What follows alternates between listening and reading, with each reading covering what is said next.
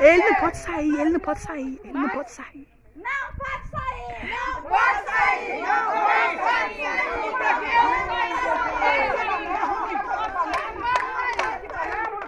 Vai perder o ouro pra botar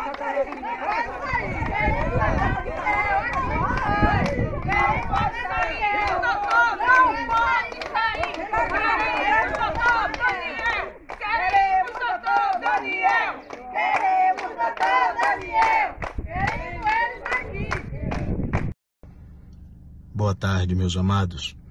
Hoje foi um dia muito especial para mim. Foi um dia em que eu pude perceber mais uma vez a graça da gratidão e do perdão. É, eu não tinha visto né, a quantidade de pessoas que se juntaram na frente do posto de saúde.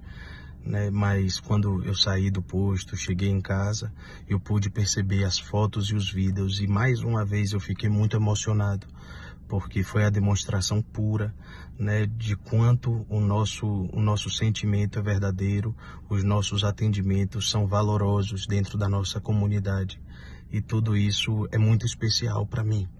Então, de certo modo, eu encarei também como um movimento de gratidão da comunidade e pelo qual novamente eu sou eternamente grato. Né? É uma demonstração de carinho que eu nunca pensei que eu fosse receber e vocês me deram mais esse presente. É, justamente por isso, é, por, por perceber o quanto o nosso relacionamento, digamos assim, é precioso, foi que eu tive de buscar as dádivas do perdão através de uma conversa que eu tive tanto com a autoridade do local, né, a vereadora Derlúcia, quanto com Saulo, quanto com, com Evelyn da atenção básica, eu pude mais uma vez exercitar a, gra a graça do perdão. É, ninguém é imune aos erros, eu não sou, né, nenhum de nós é, na verdade. E toda política também é constituída de seres humanos que também são passíveis desses erros. É, acho que a maior virtude que um ser humano tem é reconhecer onde nós erramos, pedir perdão e propor e de fato mudar. E eu tenho esperança de que né, os, nossos, os nossos atendimentos hão de ser novamente revigorados, com uma equipe completa e com uma estrutura digna.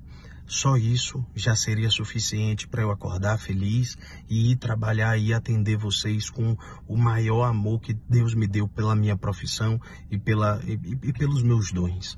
Por isso eu sou infinitamente grato né, é, a vocês, meus pacientes, que puderam demonstrar novamente o quanto somos preciosos, o quanto vocês são preciosos para mim e o quanto, de certo modo, eu também sou precioso para vocês.